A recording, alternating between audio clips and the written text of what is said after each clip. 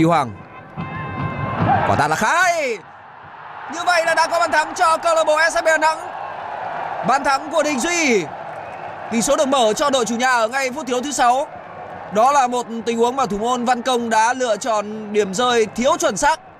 Và sau đó thì Đình Duy đã nhanh chân đưa bóng vào lưới trống để mang về bàn thắng mở điểm cho đội chủ nhà SCB Đà Nẵng. Đội bóng của huấn luyện viên Phan Thanh Hùng đã vươn lên dẫn trước vào thời điểm này. Rất sớm, ngay ở phút thứ 6 của hiệp 1. Cổ động viên của SHB Đà Nẵng vừa rồi là bàn thắng đầu tiên của Phạm Đình Duy ở V-League mùa này. Chúng ta sẽ cùng xem lại quả tạt của Phi Hoàng. Và đúng là thủ môn Văn Công đã lựa chọn điểm rơi thiếu chính xác. Nó như một món quà dành cho Đình Duy ở phía sau. Tỷ số là 1-0 và nó sẽ giúp cho trận đấu trở nên hấp dẫn hơn. Hà Nội cần phải thắng nếu muốn cân bằng điểm số với đội đầu bảng vào lúc này là câu lạc bộ Hải Phòng.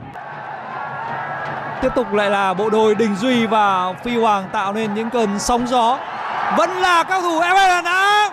Phi Hoàng, Đình Duy.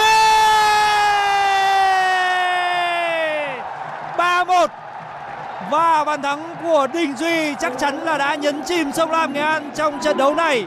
Bàn thắng ở phút bù giờ thứ năm tuyệt vời với nỗ lực của các cầu thủ trẻ bên phía Đà Nẵng. Chúng ta hãy cùng xem lại pha bóng này. Một pha bóng mà Hoàng Văn Khánh tiếp tục một lần nữa để cho các cầu thủ FA Đà Nẵng vượt qua. Và lần này thì người chuyền bóng cho Đình Duy không phải là Huy Hoàng mà là Phạm Văn Hữu. Vẫn là những cầu thủ 2K, vẫn là những cầu thủ trẻ đã góp công để giúp cho FA Đà Nẵng đã có được một chiến thắng xứng đáng trong trận đấu ngày hôm nay. Tài Lộc được truyền vào của Phi Hoàng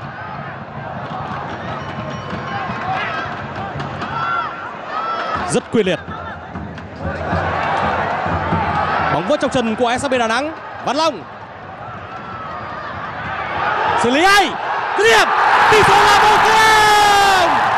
Xử lý đẳng cấp của Phạm Đình Duy phút thứ 81 của trận đấu, Phạm Đình Duy với một pha xử lý rất tự tin của mình đã ghi bàn bằng chân trái, rất đẹp mắt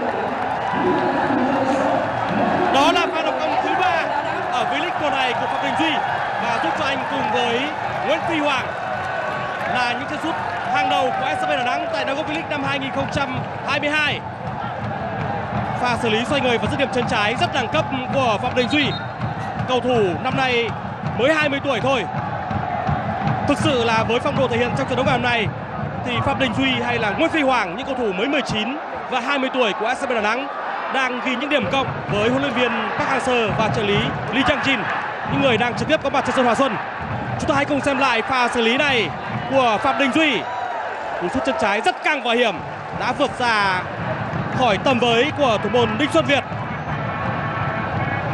Rất khó để trách với thủ môn của câu lạc bộ Nam Định khi mà tầm nhìn của anh đã bị che khuất.